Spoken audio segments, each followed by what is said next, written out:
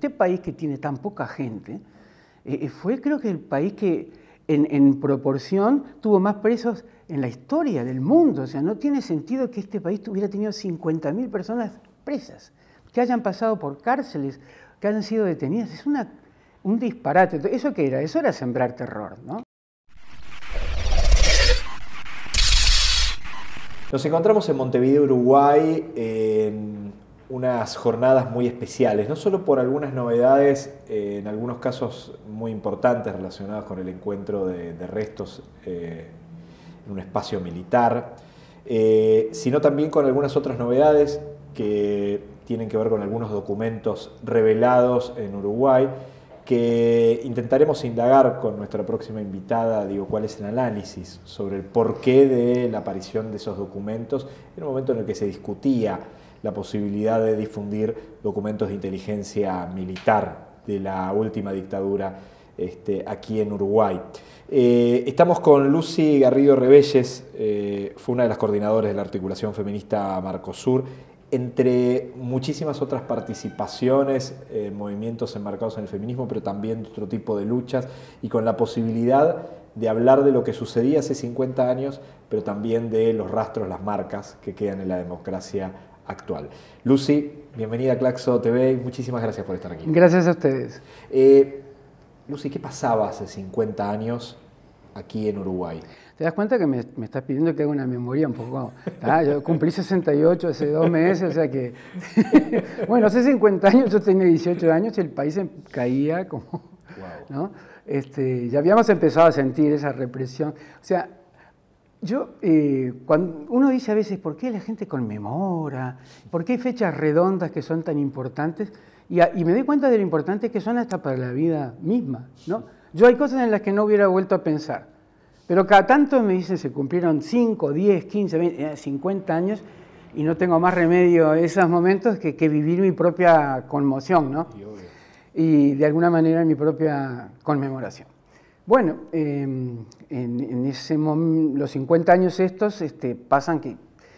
Antes de los 50 años, a los 14 años me habían detenido. Yo estaba en el Liceo Zorrilla y me detuvieron, a mí y unos cuantos compañeros más. Duramos poco, unas 5 o 6 horas. Eh, no, podría decir que fuimos torturados o torturadas, pero eso indica también que había muchas cosas que se estaban cocinando, ¿no? porque para llevar a gurises así porque hicieron un liceo popular es como un poco ridículo. Pero bueno, la dictadura este, significa, significó y desgraciadamente va a seguir significando muchas cosas que tienen que ver también con, con todo esto que está sucediendo ahora. ¿no? O sea, las cosas si las hubiéramos hecho tan bien como hubiésemos querido, no estaríamos pasando por todo esto que tiene que ver ahora, recién ahora, con seguir encontrando cuerpos y todo lo que faltan. ¿no? Eh, esto más los, los documentos que están apareciendo, o sea, es como si uno dijera, Dios no quiere cosas chanchas. Bueno, fueron chanchas y yo no soy católica. Entonces este, le reclamo muchas cosas al Estado eh, que otros tal vez le reclamen a Dios y sus cosas. Em, la cuestión es que esto conmociona y te hace pensar también, pero ¿y cómo? Y todo este tiempo, o sea, porque también ahora hay gente que se está dando cuenta de que la dictadura y no se había terminado en el 84. Hay, gente que está buscándose en estos archivos. Yo jamás lo hice, no lo pienso hacer, pero también entiendo a los que lo están haciendo. Y la otra vez escuchaba a una compañera decir en la radio que se dio cuenta de que hasta el 96 la habían estado vigilando. ¿Por qué? O sea, estas cosas son las que hacen que el pequeño fascista que cada quien tiene dentro todavía esté vivo, ¿no? Y para eso se necesita de verdad, honestamente, claridad, eh, se necesita mucha voluntad política, y, también este, generosidad de la gente. ¿no? Lucy, dijiste el, pequeño fascista que tenemos. Sí, no quise decirlo de pequeño enano fascista porque eso no es políticamente correcto. No, está perfecto y lo tomamos. Pero Lucy, eh, ahí me lleva a pensar un poco en cuáles son los rasgos eh, de la dictadura que quedaron en la sociedad uruguaya. Entendiendo que son muy complejos, que son diversos, que no es en todo el mundo igual, pero también entendiendo que hay procesos porque la dictadura en la lógica cívico-militar entiendo que intentó generar cambios políticos, cambios económicos, cambios sociales. Y Jerónimo de Sierra la mañana decía algo así como esta lógica de masiva de detenciones y de tortura era, bueno, no te iban a matar en todos los casos, pero sí tratar de matar las ideas, ¿no? Claro, pero lo más importante que querían era generarte el miedo. O sea, podían matar a uno, pero a los otros dos mil que se relacionaban con ese uno o una, a eso les, ¿qué querían hacer con ellos? Atemorizarlos. Este país que tiene tan poca gente, eh, eh, fue creo que el país que en, en proporción tuvo más presos en la historia del mundo. O sea, no tiene sentido que este país hubiera tenido 50.000 personas presas, que hayan pasado por cárceles, que hayan sido detenidas. Es una, un disparate. ¿Eso qué era? Eso era sembrar terror, ¿no? Por suerte, o sea, es cierto, mucha gente tenía miedo. Yo tenía miedo también. Yo era estudiante y la verdad no, no era nada lindo.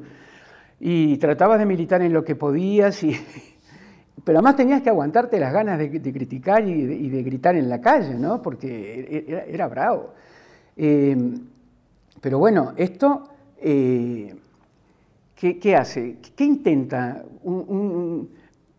una dictadura? Intenta no solo cambiar el modelo, pero sí, el modelo, pero ese modelo no es solo este modelo económico, como decías vos recién, ¿no? Eso pasa también por querer, por ejemplo, eh, restaurar o conservar aún más el patriarcado en aquel momento. Yo soy feminista y no, no puedo evitar decirlo, pero eso se le ocurre solo a una mentalidad machista. Eso, ese, es, eso. O sea, hacer que la gente se divida en ABC, en este país nos dividieron en ABC. Yo eso solo lo había vivido en la escuela, cuando la profesora de canto organizaba el coro y te ponía letra A, letra B, pero a C no llegaba, ¿no?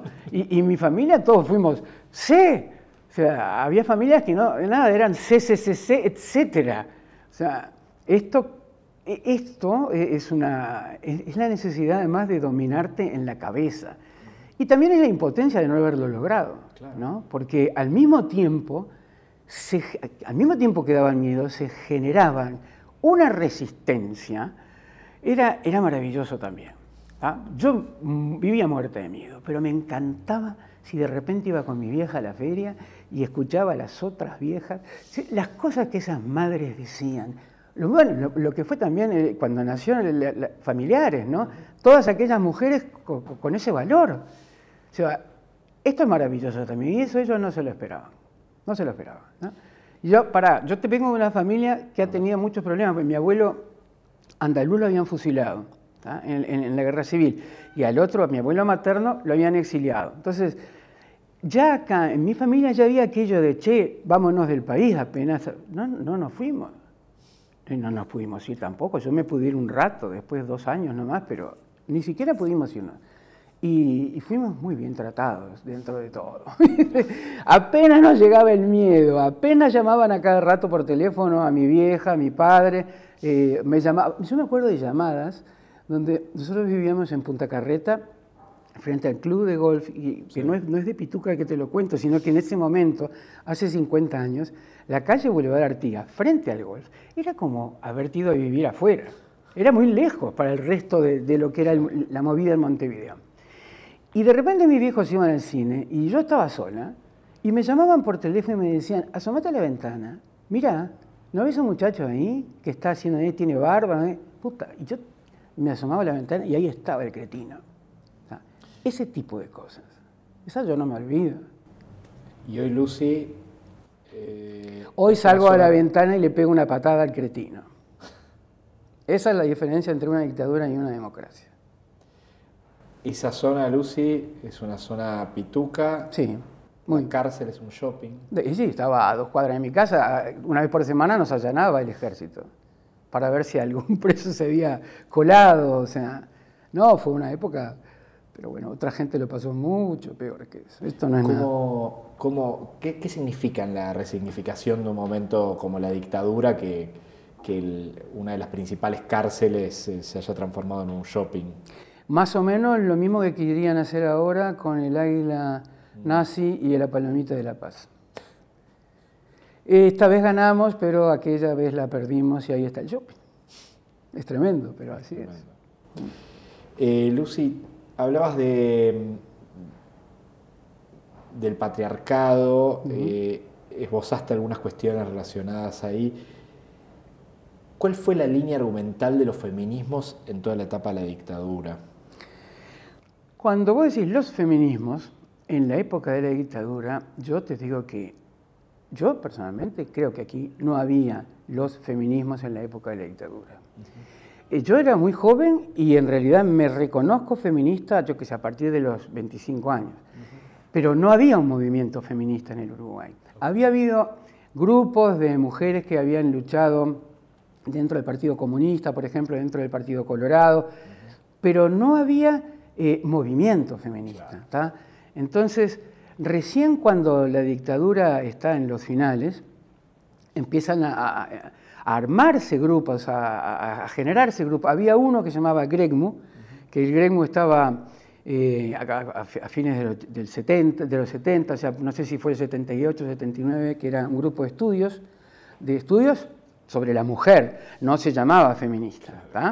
Nosotras, que era cotidiano mujer, sí, salimos y dijimos feminista y todo el mundo nos miró mal. ¿eh? Todo el mundo nos miró mal porque además a todos le habían quedado los resabios aquellos. Y también porque, como decía Benedetti, em, no hay nada. ¿Cómo era? Era genial. Decía, no hay nada a lo que le tema más que a la derecha cuando es diestra y a la izquierda cuando es siniestra.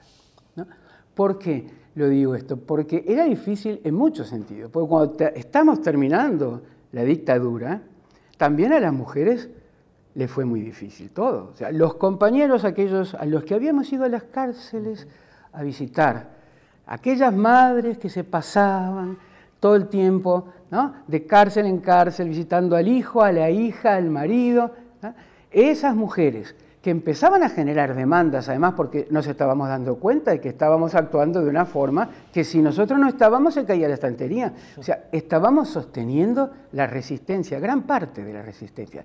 Incluso aquellas ideas que estaban combatiendo fuera de las casas, en las casas, nosotras las estábamos manteniendo y las estábamos difundiendo y nos estábamos reuniendo con las vecinas y los vecinos. Sin embargo, una gran patada y chao muchachas, gracias, suerte en pila.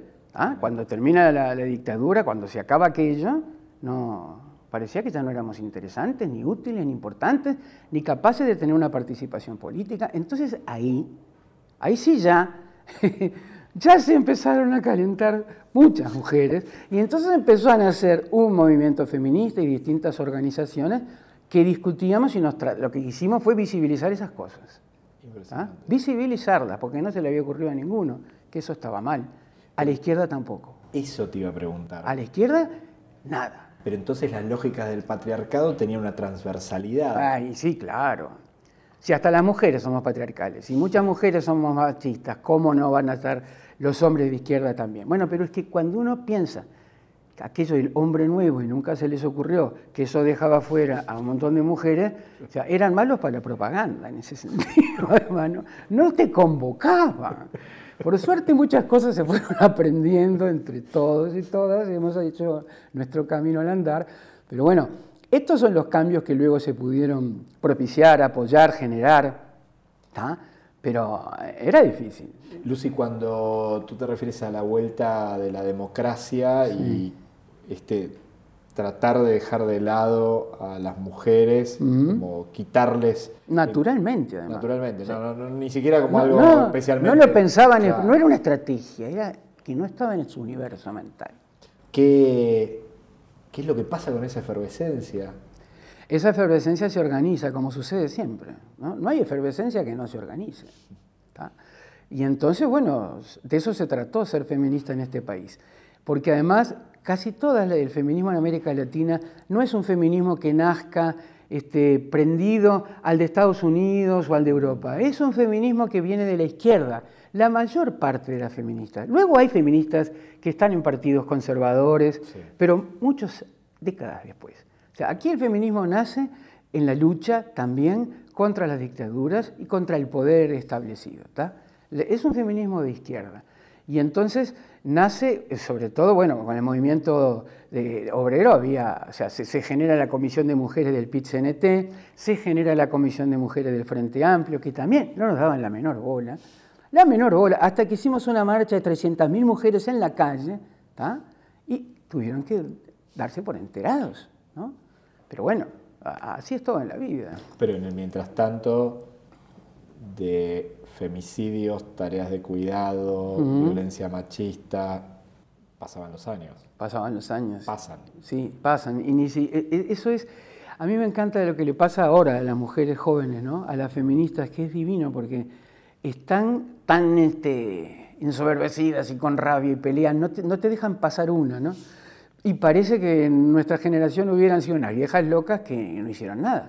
Muchachas, pero una vez me hizo una, entrevista a una chiquilina divina de la Facultad de Derecho y después que termina la entrevista yo me voy, ya se va y cuando, pará, pará, me llama me dice, gracias, digo, ¿qué te pasó? Yo dije, le di plata, le, gustó el café. No, dice que recién me doy cuenta, dice, yo ni siquiera podría, este, no sé, tener mi apartamento a mi nombre.